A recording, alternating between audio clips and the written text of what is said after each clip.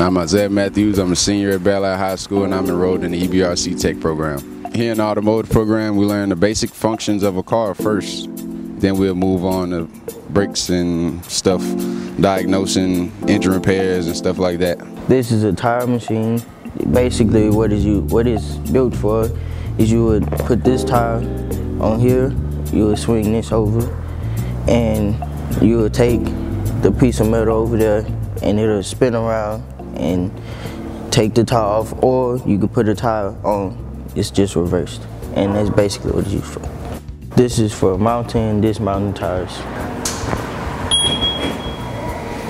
So what I just did was set the specifications for the tire. On both sides it says okay, so we have a balanced tire.